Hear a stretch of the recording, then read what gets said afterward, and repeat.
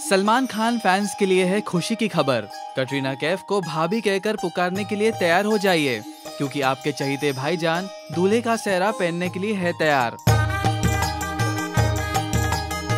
जी हाँ 2019 में होने जा रही है इस साल की सबसे बड़ी शादी, सलमान खान और कटरीना कैफ की। लेकिन इस शादी को लेकर है बड़ा ट्विस्ट ये शादी रियल लाइफ में नहीं, बल्कि रियल लाइफ की शादी है। सलमान खान और कटरीना कैफ सात फेरे लेंगे अपने आने वाली फ़िल्म भारत में। डीएनए में छपी खबर की माने तो इस फ़िल्म में सलमान खान और कटरीना कैफ का एक वेडिंग सीक्वेंस शूट किया जाएगा। ये सीक्वेंस एक गाने के तौर पर शूट किया जाने वाला है। आपको बता दे, सलमान खान की फ़िल्म का ये गाना अपबीट गाना होगा, जिसे सुनते ही लोग मस्ती में झूम उठेंगे।